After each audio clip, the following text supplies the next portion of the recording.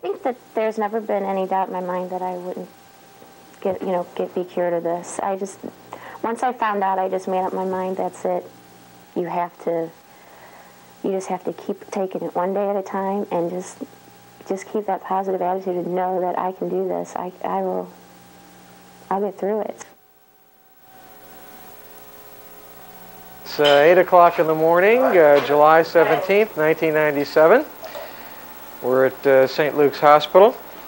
And uh, we're about to do the first case uh, in the St. Louis area of ovarian tissue freezing.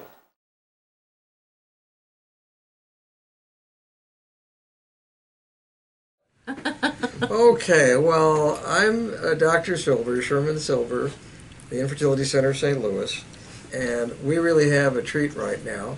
Uh, this is Jennifer, who, at 24 years of age, I'm right on that, Yes. right? Came down with a terrible case of leukemia. Uh, they thought she was going to die, uh, but just to be safe, in case she lived, when she did, and was cured, uh, we would freeze her ovarian tissue. So that was like 20 years ago. And uh, this is the first case that we ever did, and we're the only ones right now really actively with a program in the whole United States. And um, it's been a long time, and we didn't know that we'd be able to transplant the tissue back, and we didn't know if we could culture the tissue.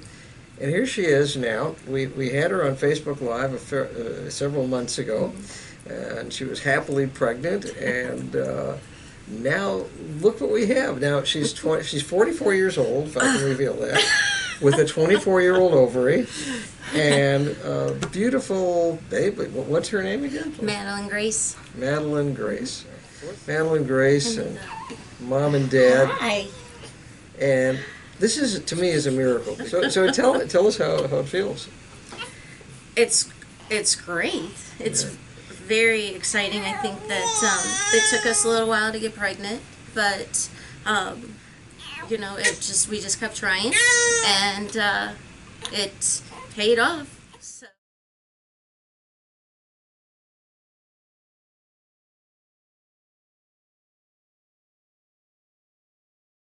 Dr. Sherman Silber, Infertility Center of uh, St. Louis, and I'm here with the most amazing fertility story ever. This is Amy Tucker.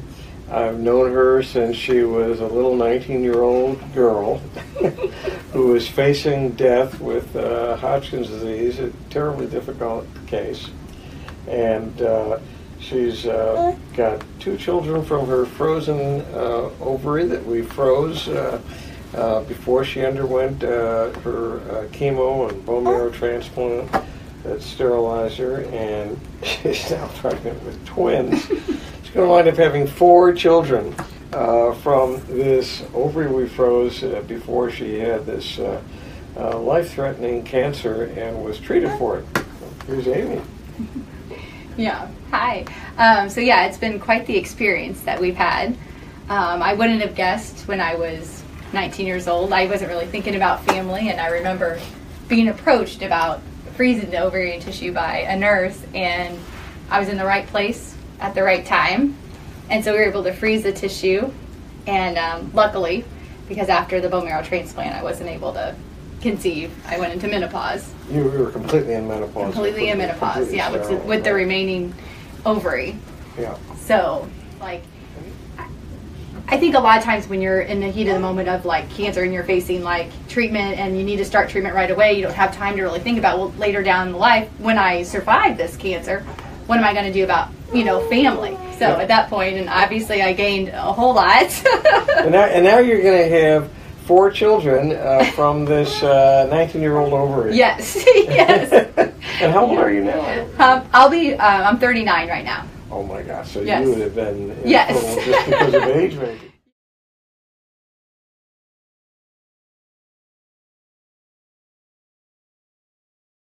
The fact that I couldn't have children really scared and frightened me. Two years ago, at the age of 21, Melissa was diagnosed with Hodgkin's lymphoma. She was told her treatment would include very high doses of chemotherapy. I thought, I'm young, I can do it.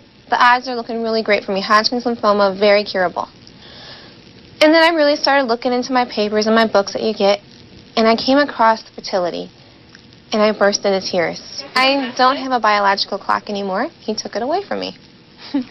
so when I'm ready to have kids, it's not going to be a problem.